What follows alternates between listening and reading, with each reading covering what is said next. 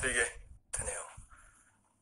네, 저 지금 사실 많이 긴장이 되고 있어요, 정말로.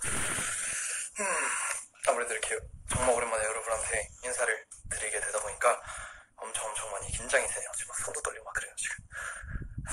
네, 일단 제가 이렇게 라이브로, 라이브로 먼저 인사를 드리게 된 이유는, 음, 일단 무엇보다 공식적인 인사보다 제가 여러분들한테 빨리 얼굴을 추천드리고 싶었어요. 왜냐하면 여러분도 제 얼굴을 혹시나 까먹으셨을까봐 음, 그래서 빨리 인사를 드리고 싶었습니다.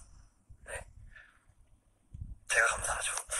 어, 요즘 날씨는 어떠신지 전 많이 덥거든요. 네, 저도 보고 싶네요.